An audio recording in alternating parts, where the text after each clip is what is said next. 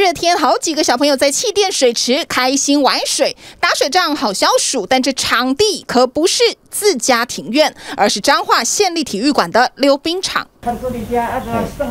这地方可以滑直排轮，可以跑跑跳跳，但怎么被人放置了塑胶气垫水池？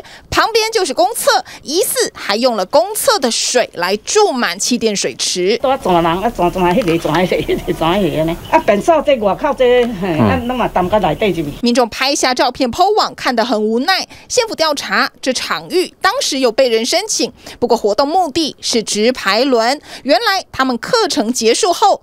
私自增加了玩水行程，当然不可以。我们比较没有去注意到啊，比较疏忽到，所以这一点我们也觉得比较抱歉。县府那边如果要追究水电费的问题，我们也一定都会负责。